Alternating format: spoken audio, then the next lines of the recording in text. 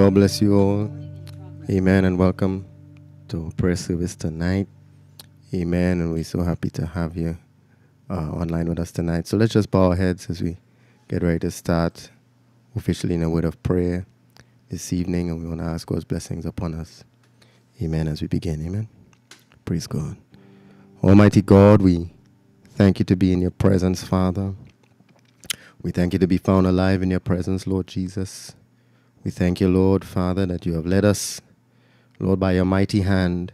And we are here tonight by your grace, Lord Jesus. we thank you for each one that is connected with us virtually tonight. We come for prayer. We come to seek your face, Lord. We come to, Lord, to key ourselves into the atmosphere, into the supernatural, Lord, to hear the word of the Lord from you and to release our faith, Lord. Lord, in prayer and supplication unto you, Father, and applying our faith, Lord. Lord, that you would answer, Lord, by your choosing, Lord. You would answer by fire, Lord. You would answer by your word to us tonight. Lord, we long to hear from you tonight, Lord. We come to seek your face once more. And we pray that you would have your way in this prayer service tonight. Bless the word that would be shared with us, Lord. Bless the time of prayer that the saints would have, Lord, uh, in your presence. We pray, oh God, that you would deliver, Lord. You would heal you would uh, break uh, boundaries, Father, Lord, that you would bring breakthrough and deliverance, Lord, to those that seek your face tonight. May they be rewarded tonight. Granted, Almighty God, we pray and ask these things in your precious name, Jesus Christ. Amen and amen. Praise God, amen. Thank you, Jesus. Why don't you just give him some praise tonight? I just want to sing a few songs of uh, worship unto his name and create an atmosphere tonight. Thank you, Jesus. Thank you, Father. Glory to God. Thank you, Father. Amen, amen. Let's give him praise tonight. Hallelujah. Oh, hallelujah. Thank you, Jesus. Thank you, Jesus. I say yes, Lord. I say yes to your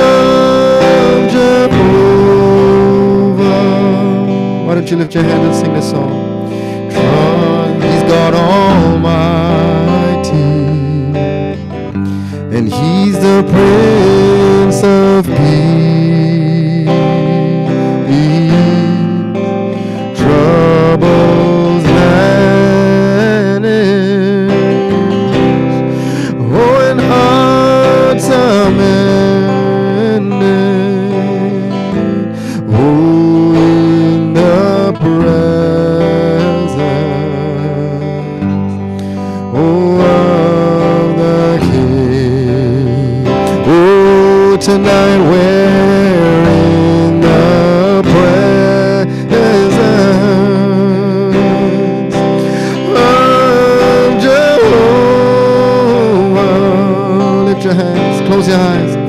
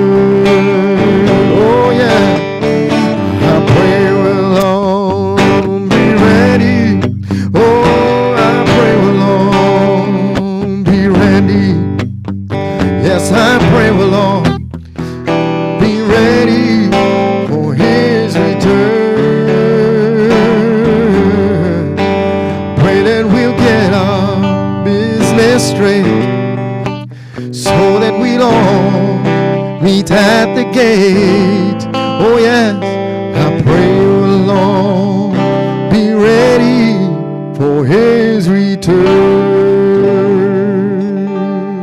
Amen. Amen. Thank you, Brother Anthony. Praise the Lord. God bless you all. Let's bow our heads for a word of prayer. Welcome tonight.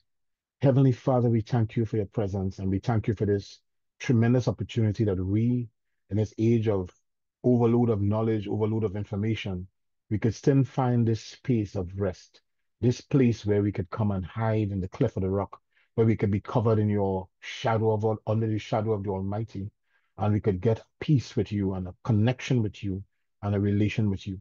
Father God, speak to us tonight. This is ex- exhortation. And as the people get on in prayer, may the anointing be with them to inspire them and direct them.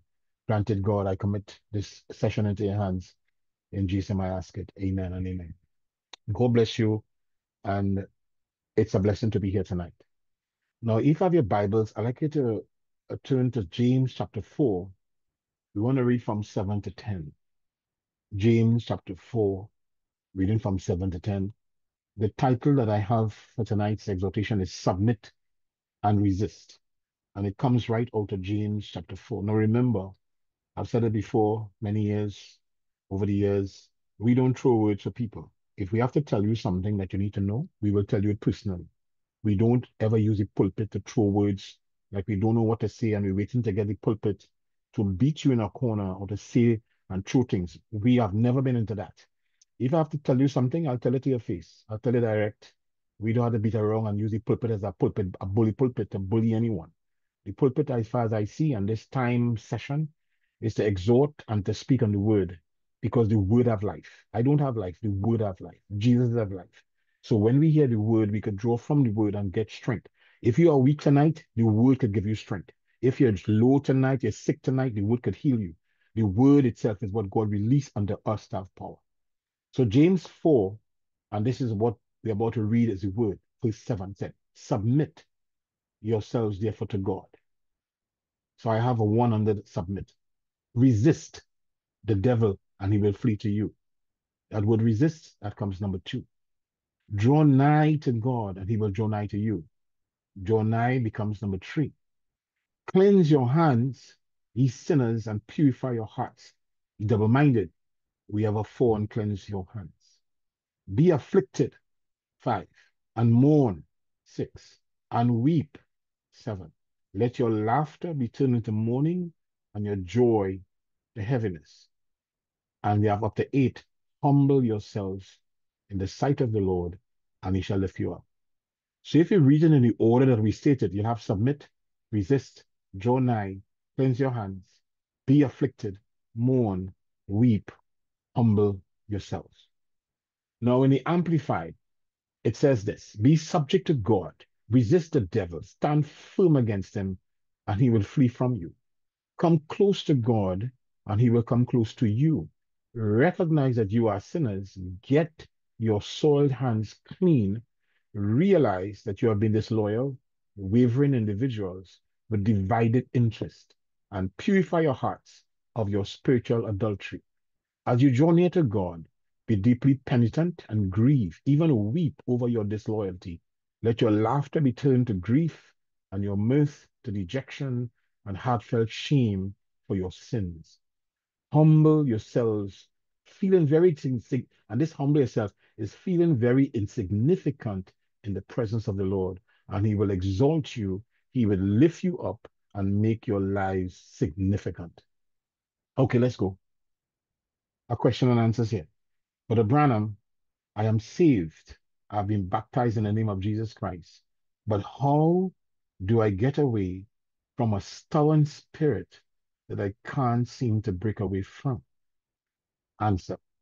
Well, my Christian brother or sister, whoever it may be, now, most times when you find people that got stubborn spirits, it is usually a complex that causes this. Either they have inherited from father, mother, uncle, aunt, grandmother, grandfather, somebody like that.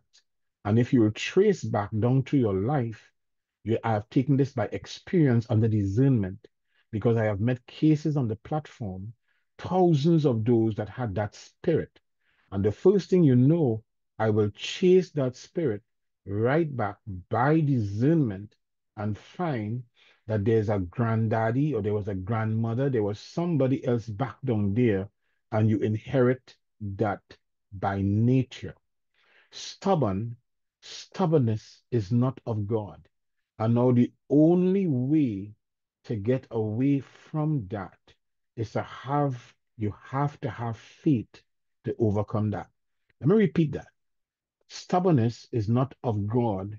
And now the only way to get away from that, you have to have faith to overcome that. You are a Christian. You are son and daughter of God, whichever you may be, and you will never be able just to stand and rebuke it and rebuke it and rebuke it. It is just like tantalizing a rattlesnake. He is laying there ready to bite you. And if you just ignore him and walk away from him, he can't hurt you. So when you feel that you got a stubborn spirit, lay the thing on the altar and believe God that the thing is dead and you will never have it no more. And go on and don't even pay any attention to it no more. And the thing will leave you. Resist the devil, he will flee from you. That is, get away quickly. So that would be my advice how to overcome it. We overcome the devil by faith. That is what we overcome all, all evil by, is by faith. So I hope that that question and answer would help you tonight and realize there are more depth in the word and more depth by the spirit of discernment that we think of. And this is a good example because Brother Branham said he dealt with these cases by the thousands and could trace them back and see the effect upon the lives of the people. So sometimes you may be in stuff or whatever, and it's something that is dear, but you have to know to lay things down. You have to know to walk away from stuff. If you haven't listened to the message from Wednesday night, I want to encourage you to do so. The high priest of your confession, because the prophet clearly states you cannot live about above your confession. So if you're talking negative, talking instead of foolishness about your own self, you can't get very far. If you say a low, a down, I ain't going good, or whatnot, you're talking in devil's language. You have to begin to apply and get stronger.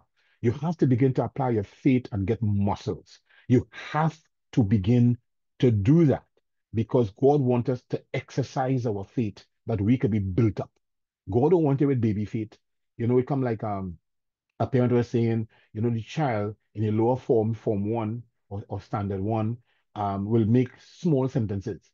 But as they get older, you don't want them to make those baby sentences. They have to begin to grow to make more complex sentences. And they have to get the help necessary. They have to get the books to read. They have to get the understanding that you cannot make come John come and, and you know here goes Jane and whatnot. That could work in standard one. But standard four and standard five, those baby sentences can no longer work.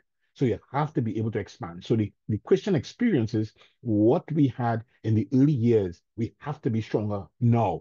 And the only way it could be done is if we get into the practice, into the exercise, into the push-ups, into the lifting the bar, which have to be stronger than you to put some pressure on your muscles. That's the only way. In other words, pressure and stress is help help us to exercise our faith.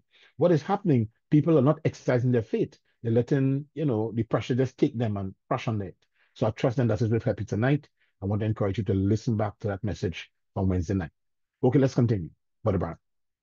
You can't have life only through Christ. So you can't go in there. You can't have life only through Christ. But now, what does his word do? Here we go. It builds up our spiritual body strong as we commune with him to resist the devil. So, what is he saying here? We have to actually learn and become strong in order to resist the devil. Now, I like how the words were phrased in the scripture. The first thing the Bible exhort is to submit yourself. What is this going on? Okay. Hear what it says here. First thing, submit yourselves therefore to God. And then it said, resist the devil. Because if you want to resist the devil, I mean, I'll read the scripture for you. Some guys trying to cast out devils and do their own stuff, and they're not submitted to God. We call them jokers, and the devil jump on them. So you cannot try to pulverize the devil, overcome the devil, and do whatever you think with that devil, and you're not in submission to God. So the first thing is to ask yourself, am I submitted? Do you know what submission is? Because you have to be able to submit yourself and humble yourself. All right, let's continue. So Brother Branham says here now, yes, he's the word. Communion. In the beginning was the word, the word was with God, the word was God. Then his body is his word because he's the word. And if you abide in me and my communion, my word abides in you. So in other words, your connection with the word gives you the strength to build up a strong spiritual body. You see how you take tablets, zinc and magnesium and and, and one a day and, and iron and, and whatever we take. we taking those things to help our body, our natural body, our physical body, especially as we get older, we want to know that we, you know, have all the right nutrients and stuff. Well, same similarly, in the spiritual realm, we have to have the nutrients that give us the strength to stand in this hour. So you say we are taught, Brother Branham, to resist the devil, he will flee from us. Now, to resist is just simply to turn him down. Just resist him. Just walk away from it. God said a certain thing. No matter what he's trying to tell you, don't even listen to him. You have cars that you are ears that are deaf to anything else but what the Spirit says. Amen. So praise God. So listen. To submit means to yield, to surrender something for consideration, authority, or judgment. So depending, depending upon what it is, you get a different context of submission. So to authority, willing to yield to authority of another. So present something which is to submit, is to submit like a presentation for approval or submit a document for approval, right? So therefore, in submit means to acknowledge the superiority or decision of another. That is what is to submit. To submit is also to surrender one life to divine power, God's power, to divine authority. Now, to resist means to oppose, to withstand, to strive against something. It, it means pushing back against a, like a force, pushing back against influence, pushing back against temptation. If you are not pushing back, you're not resisting. I repeat, if you are not pushing back, you are not resisting if you're not pushing back on influences, whether family, worldly, friends, workers, whatever it is, you are not resisting. You're just plain sly. You're just going with the crowd. You don't want to hurt nobody. You don't want to offend nobody. They come like if the uh, the office says, um, you're having a small drink and you're not resisting and say, I'm a Christian, I don't drink. If they say that, all right, they know you have a clear stand. If you says nothing, they will pass you a glass and you may just sip it, you know, and whatnot you're not resisting. So again, like submit, that have context. So, so to fight against something physically or mentally, to fight against temptation or influences, to fight against uh, authority or rules, that is resistance. To withstand something that is harmful, that is resistance. But uh, and this is a scripture I have here. And this is where they were trying to get stuff without submission, these guys. And this from Acts 19, 11 to 17, we're going to read. How much time? And God wrought special miracles by the hands of Paul, so that his body were brought into the unto the sick, uh, unto the sick handkerchiefs or aprons, and the diseases departed from them, and the evil spirits went out of them. Then certain of the vagabond Jews, exorcists, took upon them to call over them which had evil spirits in the name of the Lord Jesus. So they want power, they want influence, they want to show off, they want to play themselves. So they had they started call on evil spirits in the name of the Lord Jesus, say, saying, We are journey by Jesus whom Paul preached.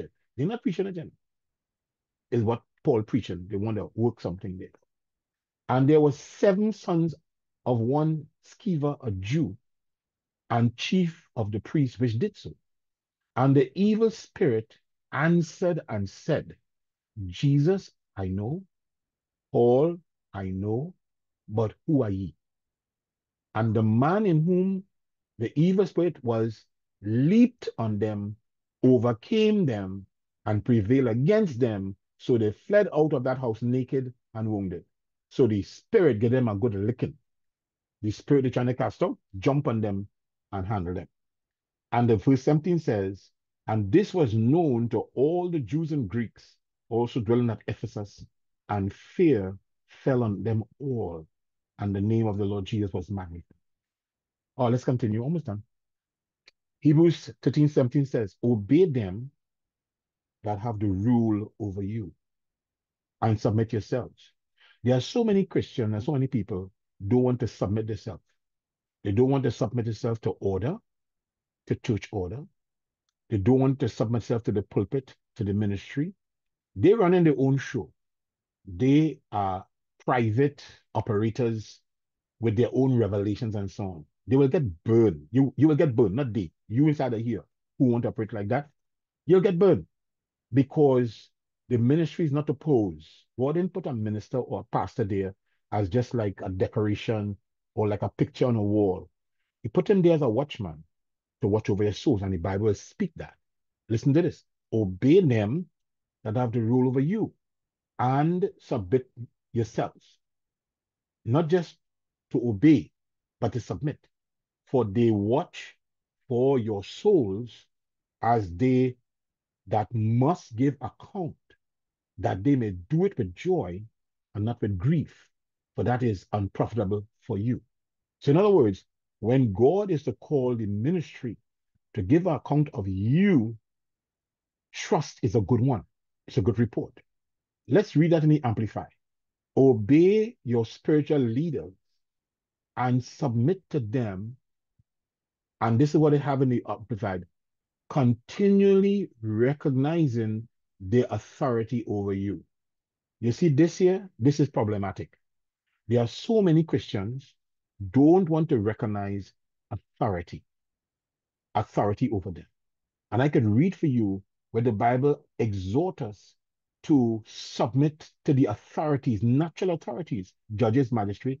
You can't watch a red light and says, I am feeling led to stop at no red light. Who put that red light Day is man put that red light and I obeying man. And yeah, you break the red light and you get an accident, you get a ticket charge, you might even kill somebody in a car accident and whatnot because of your foolishness. But the Bible said to submit. Why? There are rules and orders to protect Christians. That's what judges are there for. Until Rome make them move, until the press come down, until all the dramas had to take place, that'll be a different thing. Then we have to resist. But as for now, what the Bible put over us is to submit ourselves even to the authorities. So obey your spiritual leaders, submit to them, continually recognizing the authority over you. This applies to wives too. Wives who bullheaded and don't want to listen to their husband and figure, well, they're running their own show or whatnot. God ain't asking you no question, you know. God go ask the man or the husband the questions. So he have to know what he will give an answer over on a bullhead or a, a wife who don't want to submit or take the husband leadership. And you husbands, you have to know where you're taking your wives. But if you're not a leader or you don't get empowerment to lead, what you're leading them onto? All right, so I don't mean to go all this tonight, but just going about authority. So recognizing the authority over you, for they are constantly keeping watch over your souls and guarding your spiritual welfare as men who will have to render an account of their trust. Do your part. Let them do this with gladness and not with sighing and groaning, for that would not be proper for you. You ask somebody a question about this person, oh God, you groan because you report not so good.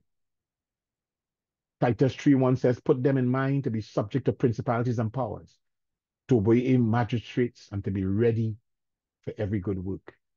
And the last scripture I have here, wow, almost anything.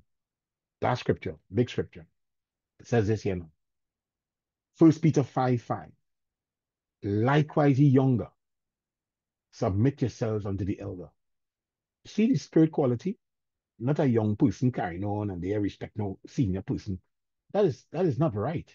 Yea, all of you be subject one to another, be clothed with humility, for God, or God has resisted, you know, he resists the proud and give grace to the humble.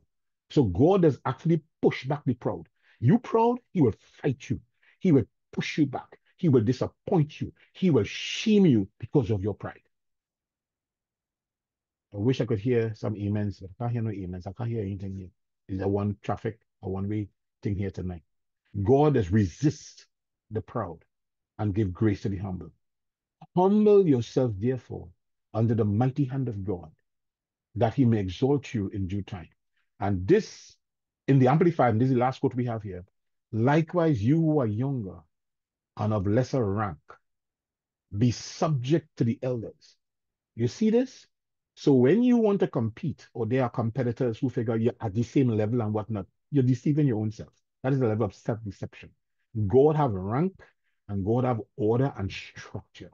He doesn't have the moon feeling let to be the brightest thing in, in, in the sky. The sun will stand in the day. The moon has to star in the night. God have things set up that way. And we can't change that. So he said, likewise, you are younger and of lesser rank.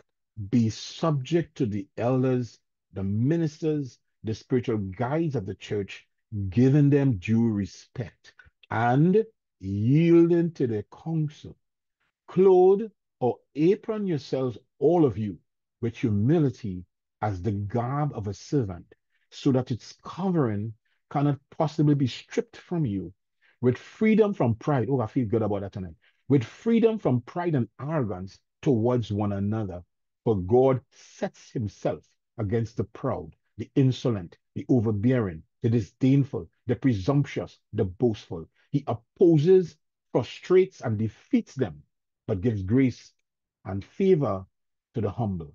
Therefore, humble yourselves, demote, lower yourselves in your own estimation under the mighty hand of God, that in due time he may exalt you.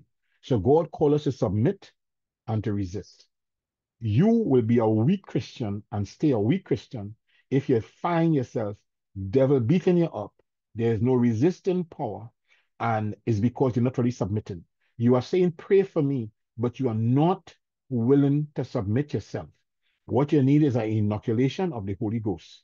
When the nurse come with a needle, or the doctor come with a needle, or the pastor come with a needle, you fly out of the room because the needle getting you're frightened. But what the needle has is an inoculation against sin and to strengthen whatever white corpuscles or whatever blood cells to fight the disease. That is what that is for. So the Holy Ghost or the baptism of the Holy Ghost is supposed to be an inoculation that gives you a greater sense of resistance against the enemy. Now, we all born in sin, and iniquity. We are finished to begin with. We don't stand a chance. But God, rich in mercy, give us this opportunity to say, by stripes I'm healed, that the weak say I'm strong, to be empowered, to be effectively empowered. You have to clear grounds. You cannot say, I am weak. You cannot say, I'm struggling. What is that? What is that? if people in Ukraine under bombs, and, and right now I hear over a million people have no current, that's the whole of Trinidad. Because Russia put some missiles on them and, and blow up the all the what the electricity thing, and, and they, they have no current. And right now it's winter time across the airbags. Just in case you don't know, it's winter time, you know. We have rain, a rainfall, and people ball like one drunk. But they have winter time across it, real cold. So I'm saying that in the world today, from another perspective, people see great horrors. We don't have that. We have lethargy, laziness, Laodicea, have need of nothing, proud, and all of that. And God trying to knock that off in order you could access him. Draw nigh unto me, I will draw nigh unto you. Resist the devil, and he not going to walk away, he will flee. Flee is the bolt. But if he not getting no resistance, he figure he could come nearer. He could figure you could, you could, you could give him a cup of coffee and all. If he asks you to make one. Because you're not resisting him. You are encouraging him. Just now is, is coffee and cake. So, so, so, so you have to show God that you mean business. You have to show God that you really want this reality. You not want to say, God, help me now, God. Help me. You can't pray because you're lazy. You can't pray because you don't want to repent. You can't pray because you're proud. It takes humility to say, I need help. I want to repeat that. It's, it takes humility to say, I'm sorry. It takes humility to say, help me. It takes humility to say, I really don't know what I'm supposed to do. Would you pray that God send gets his mind that I could know? It, take, it takes humility to admit that you're wrong and you're off. People don't talk that. They like to talk mountain top talk. Uh, on top of the mountain, uh, too blessed to be stressed, all the catchphrases and whatnot. And that is irrelevant in the kingdom of the devil working. The devil laughing at all of that because you're stressed. You're stressed because you're not submitting. You're stressed because you're not overcoming. But I'm saying overcoming keeps life in you. And I'm not no, no big set of drama, you know. You have to overcome in little things. The big things coming to overcome. But you have to start somewhere. Start on you. Stop criticizing others. Stop trying to pull down others. Stop blaming others. And begin to deal with you. Look in the mirror of the word and ask yourself, am I the right thing? To my husband, to my children, to the worker, to my neighbor, to brethren. Am I being negative? There's some people are negative base, so they will always see half empty. The next person positive base say the glass half full. And you'll always get it coming out of their lips, of the mouth. What are you saying? What are you telling yourself? What are you asking yourself? You trying to hurt you or trying to help you? You trying to bring you down or trying to pull you up? Trying to beat you or trying to take authority over you? What is our objective? What is our motive? What is my motive tonight of sharing these things with you? Submit and resist. Resist the devil, he shall flee. If he flee, it means he may come back, you know, but he flee, he might take off like a bullet. He, he got space. But some of you not resisting. You need to submit. You need to surrender. You need to put up your hand and say, I surrender. You see, when you're under war and pressure and you put up the white flag, it means you give up. You have to put up the white flag and say, Lord, I commit my life into your hands. I give up. I try, I fail. I fail miserably. But no, I'm surrendering to you. Lead me and guide me. Let's bow our heads. Heavenly Father, I thank you tonight. God, for this word. Your word is real. You said, cleanse your hands. You said, submit yourself. You said, resist the devil. You said, cry. You said, weep, mourn, humble yourself. God, may this be us tonight. Nobody else. In all room, in all space, we want to apply this word to our hearts and, and make come out right. We want to admit how much we need you we need your leadership. We need your guidance. We need humble hearts, Lord. Strip us of ourselves. I commit this time of prayer into your hands. May the anointing fill the homes of your people. May anointing fill their minds and their lives. God, I shared with them concerning stubbornness and certain traits that we have.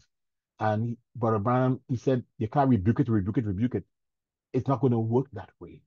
So some some of this stuff that we have to deal with takes a different approach. Help us, Lord, to have that mindset that we adjust our thinking and submit what has been revealed in this last day as to how to deal with our own individual cases. Bless them, open up to their minds, give them revelation, vision, and inspiration that this word is true, this word is real, and this word have power. Granted, God, in Jesus' I ask it.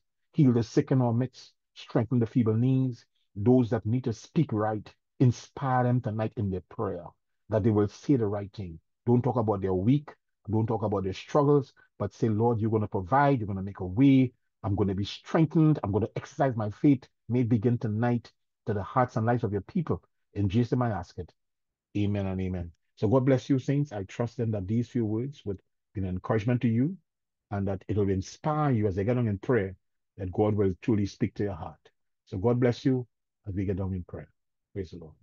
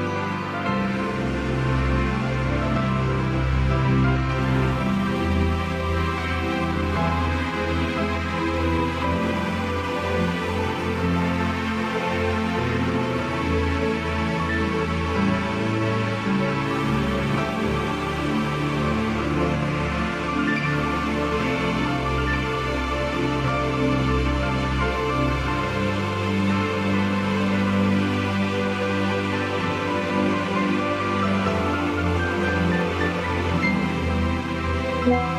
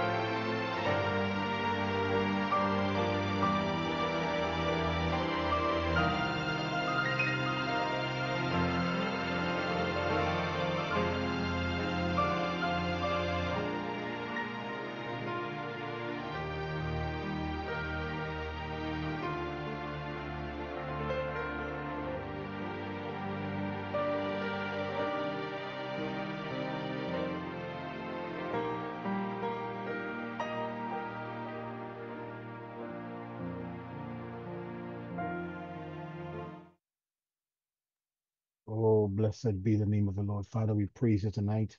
Father, we thank you tonight. We thank you for your mercy. We thank you for your grace that you would speak true to us, Lord. You're not a man that would lie. You would speak to us the things we need to hear, how we need to clean up, how we need to draw near, how we need to submit, how we need to resist, how we need to press the battle, Father, not just lay back and be at ease in Zion, Lord, waiting for rapture. Lord, it's not going to happen that way. There's a message of preparation, a message to us for war, to battle, and to fight. And all the tools that you're releasing every prayer meeting, every service, you're releasing tools, you're releasing keys for those of our ear to hear. Oh God, anoint our hearts to hear, to hear direct from you, Lord, and to receive your word and to receive your truth, Father. Oh God, may the word become flesh. May the word come alive. May the word be real. They struggle, Lord, in the, in the in the Old Testament. They struggle in the New Testament. There was a battle of faith, the fight of faith. And Paul said it. He fought a good fight. It's a fight, a fight against the five senses, against the flesh, senses of the flesh, the senses of the spirit. A fight, a battle every single day. We wrestle not against flesh and blood, but against against principalities and powers. Father God, look at those who are sick. You know, let's look at those who need a touch from you. May heaven drop down, Father. We see it. We see it through the prophet. He saw hell on the earth, and heaven came down when those angels came down to bring all the seven seals, to release the anointing, to release the power, to receive the blessing of God upon the people. And it was released in word form. It was released on books and tapes. It was released in the form of promises. And now these promises are about to come alive. These promises are about to be manifest. These promises are about to be made real. Help us, Lord, that we wouldn't give up. We wouldn't let go. We wouldn't turn back. Like when the children came to Kadesh Barnea, Father, and it was in a terrible condition and negativity, and we cannot take it and we cannot go forward. And all those spies brought a negative report. Oh, Jesus, Lord, we have heard, we, we don't want to hear no negative report. We want to get a true report that God is good. He is faithful. He is loyal to his word. He honor his word. He will look over his word to perform it. Oh, Father, bless tonight. Bless the people tonight. Thank you for this time of prayer. Thank you in advance for what you're about to do this coming Sunday, the morning service and the communion service, the evening service. Father, may your fire fall. May your power take a hold upon your people. Remember the mothers, Lord. Remember the children in our midst, the young people, Father. Minister to them and meet their every need. Remember the fathers, the wives, the husbands. Oh God, minister to them and meet their every need. Remember the elderly, the seniors among us, those that need a touch and the body from the crown of the head to the sole of their feet. Father, minister to them, Father. Meet every need in our midst. I commit their lives at their hands. Those that are backslidden, Lord, may restore. Those that are out of favor with you. May they come back into favor with you, with their heart getting right with you. Granted, God. In Jesus' name I ask it. Amen and amen. God bless you, saints. Thanks again for being here tonight. It was a tremendous blessing to be here and to be with you. God be with you until we see you on Sunday. Have a blessed night. God bless.